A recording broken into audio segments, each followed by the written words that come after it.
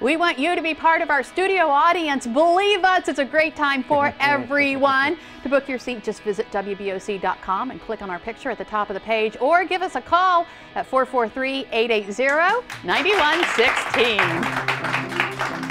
Okie dokie. So just before the break, we talked to WBOC's Lindsay Tuchman about food trucks here on Delmarva, but now we're going to turn the tables. That's right. Now, Lindsay is going to be doing the cooking, or I guess I should say preparing. Yes, what are exactly. you making? Um, we'll be making pimento cheese, which is a southern uh, classic, I guess you could say. I'm from Atlanta, so Okay. um, it's Oh. basically just a cheese dip. It's really, really simple, actually. All you need is a block of sharp yellow cheese, a block of sharp white cheese, mayonnaise, cayenne pepper, and then, of course, pimento. Pimento. Okay, And well, that's let's it. get started. Put it. Jimmy to work. Sounds All like right. something I can do. Yeah, exactly. So you're going to be in charge of grating the cheese.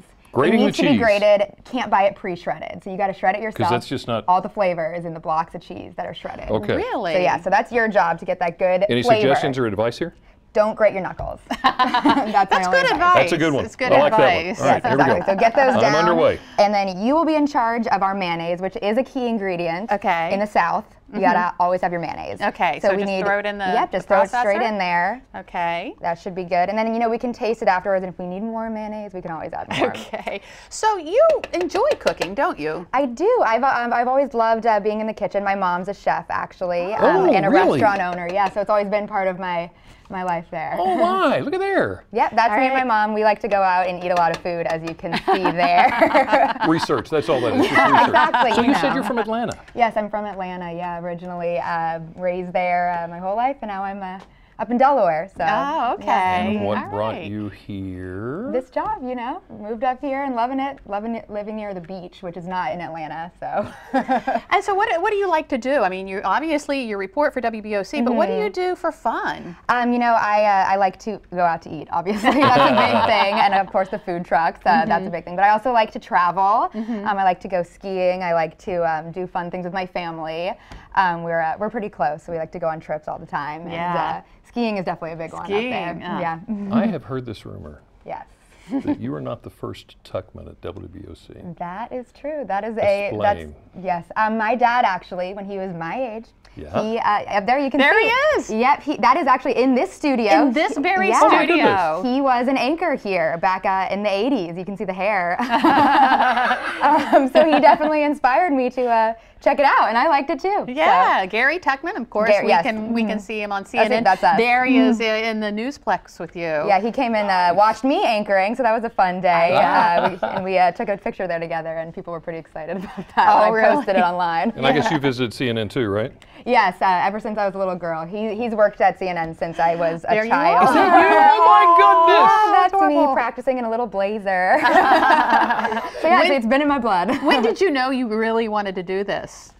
Since From- that picture. Since that picture. Okay, yeah, fair but um, yeah, you can put the pimentos Oh, in now. that's yeah. right. We're cooking, aren't we? Yeah, no, but yeah, I've always, uh, I've always known I wanted to be a part of it. That's good got all the- job. I got all the Good cheese shredded. That's Okay. impressive. That looks so good. I assume this goes in Yeah, here. pour it right in. okay. And you really uh, talking about eating. You like eating organic. Yes, I'm a big um, healthy eater. That's been kind of my uh, my goal is to find good organic food that since I've been out here. And um, al- unfortunately, this is not the healthiest of meals, but I did get um, I did get organic um, cayenne pepper. Oh, okay. so you want to be in charge of that. How much? guessing. You know, it's up to you. Do you like spice? I, Yes. Well, I know Jimmy does. Just kind I think that's good. That's good right there. little more. okay. All right. Keep going. I know this is the this is the moment. You Okay. have to just do it slow. Don't you got to be careful. Just kind of it at first. And the thing about pimento cheese is that it's, you don't want it to end up super uh, smooth. You kind of want it to be chunky. Okay. Um, I wonder if I should get down in there and kind of. yeah, you got the spatula there, just kind of mix it all up. Okay. Yeah. Oh. So you don't want it smooth. No, you want it chunky and kind of have the, the grated cheese texture still in Oh, there. Okay. There's this, uh, at my mom's restaurant actually, they had a contest to make the Atlanta burger. Right. And it was the pimento cheeseburger. So they put that right on top of the fried green tomato. So that's a classic Oh, uh, southern recipe right there. Okay, I got, I got to have some of this. Let me tell you real quick how you can get Lindsay's uh, recipe here. All you have to do is send a self-addressed stamped envelope to 1729 North Salisbury Boulevard. That, of course, in Salisbury, 21801. You can go to our brand spanking new website. You are going to love that thing. It is so easy to get around and find what you're looking for. WBOC.com. Click on our picture at the top of the page. Or there's the number you can call to find out more 443 880 9116. Man, you made this nice. That looks good. That looks really good. Look at you. You want to do the honors? Well, he does that.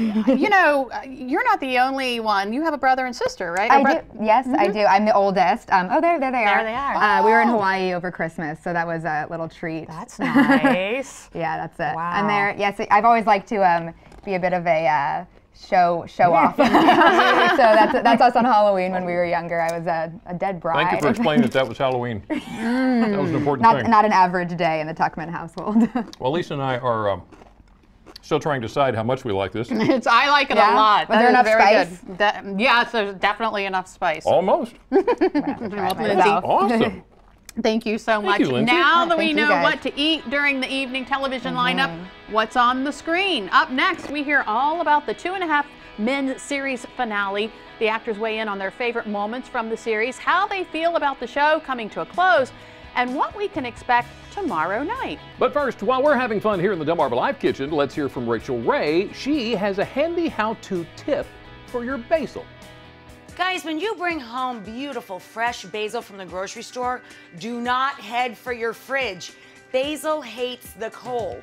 Doesn't like water much either. You need to treat it like fresh cut flowers. Trim the bottoms, put it in clean water, change that water every couple of days, leave it on the counter, not in the fridge, and then cover it with a plastic food storage bag. This creates a little greenhouse and the basil will not only not go bad, it'll continue to grow. You'll use every last leaf.